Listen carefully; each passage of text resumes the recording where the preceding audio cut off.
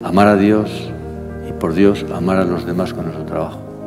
San José María algunas veces nos contó que cuando empezaba a trabajar le decía al Señor, Jesús, vamos a hacer esto entre los dos. Pero es una cosa que te puede ayudar. Cuando empiezas a trabajar un asunto, decirle al Señor sin palabras, pero en tu alma, vamos a hacerlo juntos, Señor. Estás ya santificando ese trabajo y te estás santificando así con el trabajo y estás ayudando a los demás también.